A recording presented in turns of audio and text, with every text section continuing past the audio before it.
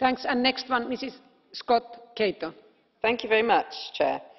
The Bahamas Papers revealed again the central role played in the murky global network of tax havens by the British Overseas Territories, former colonies and the City of London itself.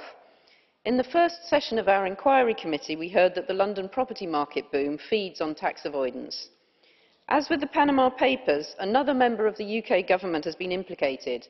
Our Home Secretary Amber Rudd was named as being a director of two companies in the Bahamas. Secrecy means we actually cannot tell what companies she controlled and what they were doing and how much money she earned and how much tax was actually avoided. This lack of accountability is precisely what tax havens offer and it's why people use them.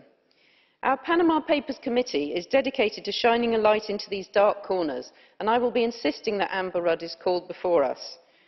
The ease with which the Home Secretary was able to avoid answering questions about her involvement in the Bahamas is evidence of the weakness of democratic accountability in the UK. I am glad that we will have a chance to tackle this during our work in the Panama Papers Committee. Thanks. And